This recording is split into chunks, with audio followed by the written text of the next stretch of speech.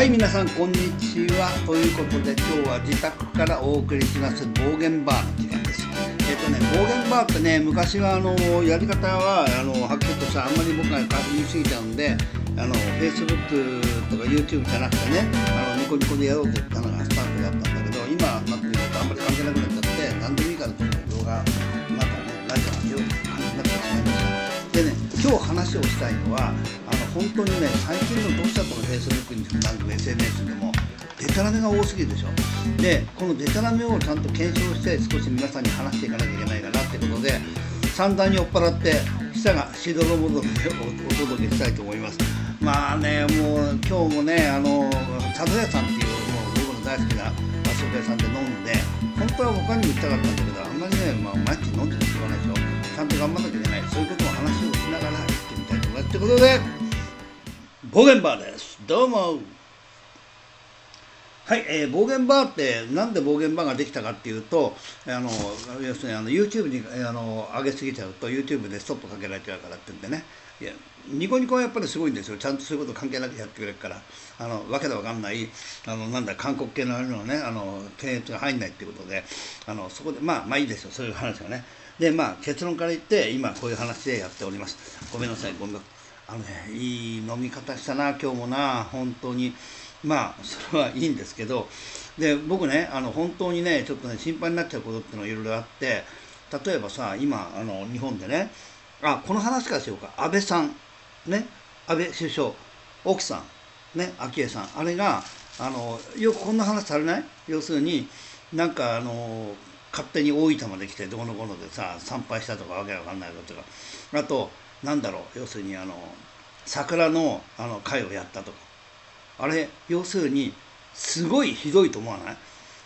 だってさ桜の会って別に表出ないでレストランでやったことであって何にも関係ないし大分行ったのはだって緊急事態が宣言が出るよりずっと前の。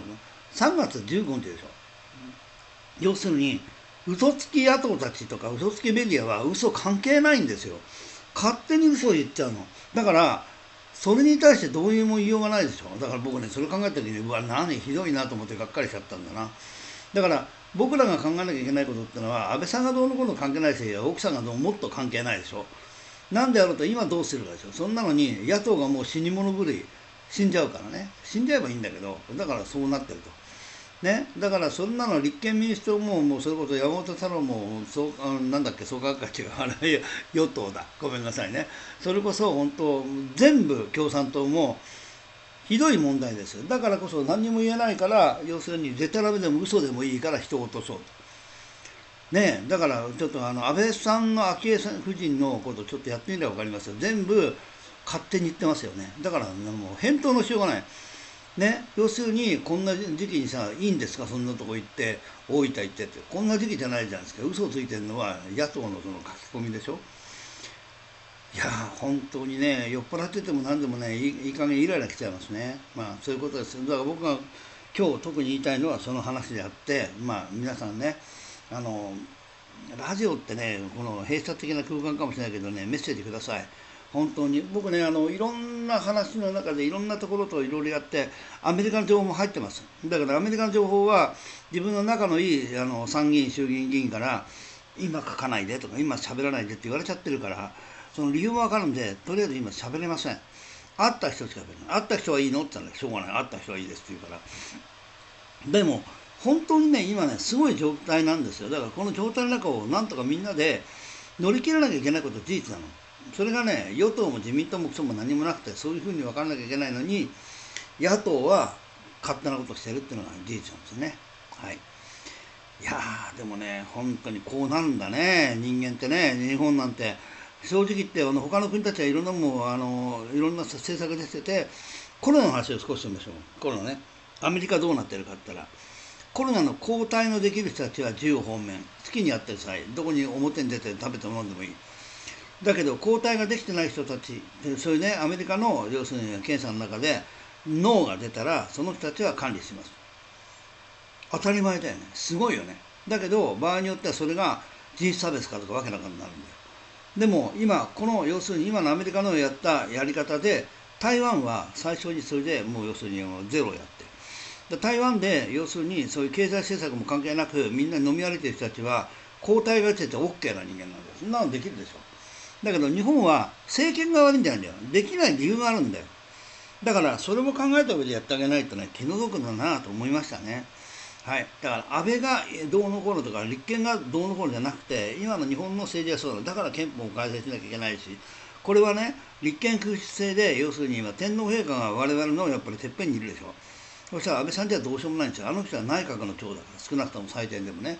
だから内閣の長だけじゃなくて自民党っていう強い政権があってそれが全部抑えてるからいろいろ言われてるけど結局安倍さん自身は内閣の長だけ？それを考えてやらなきゃいけないな、うん、と思いましたね。いやまああとは軽い話しましょうかね。本当に。今日もあの僕は普通にあの街中に出てあの退屈です。もうやることがないからマジックしかないでしょ？僕らの人生っていうのはその中で要するに鶴崎の街中を歩いていろんなところレスン食べたりなんかしながら情報収集していろんな話をしました。だけど残念だったのはあの本当のことを知らない要するに日本の国民が多いってことね。だから本当のことってどういうことかって言ったら難しいことじゃないんですよね。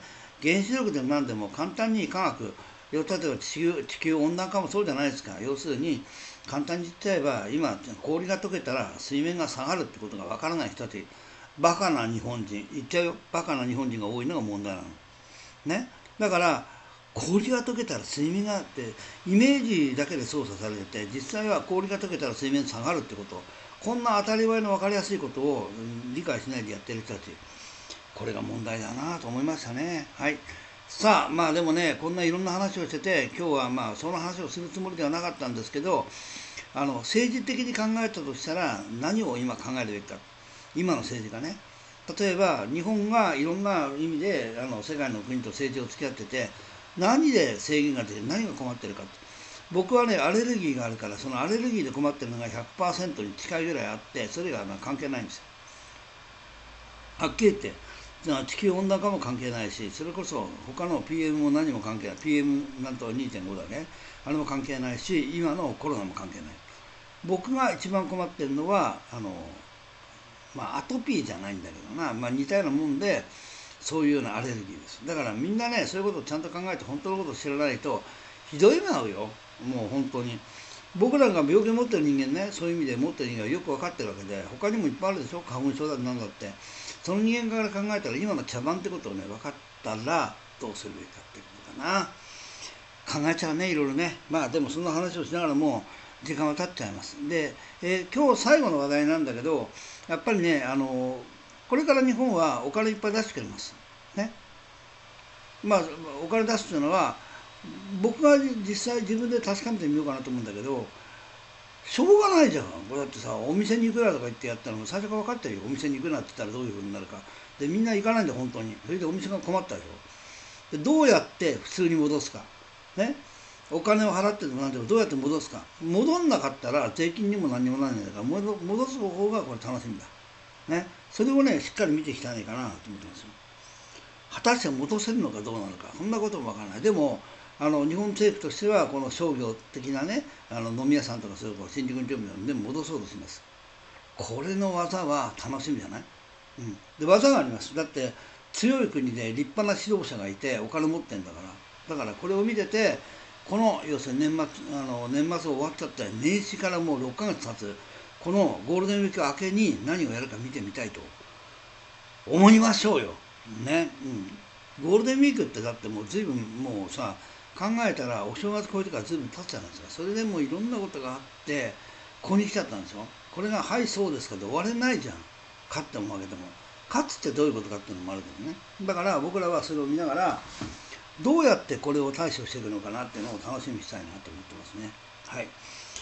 いやまあそんな話をしてるとね話がきりがなくてもう今ね僕は本当にあのこの鶴崎って町でいろんなもの体験してますこの体験もいいな、うん、やっぱり僕らがやっぱりね口だけじゃなくて体験するっていいことだと思います。はい。ちょっと待ってください、えー、10分間のね時間帯の使い方難しいんですけどついに時間になりました。ほら音楽かったでしょ？この音楽があのかって終わるんです。でこんな話をしようとかまたはライブでもいいですライブチャットしようよとか。意見が聞きたいで Facebook に関して書いてもらうんだったらやっぱり、えーと、フェイスフェイスあごめんメッセンジャーこの番組はあなたの街のエンターテインメントウィザードインがお送りしました。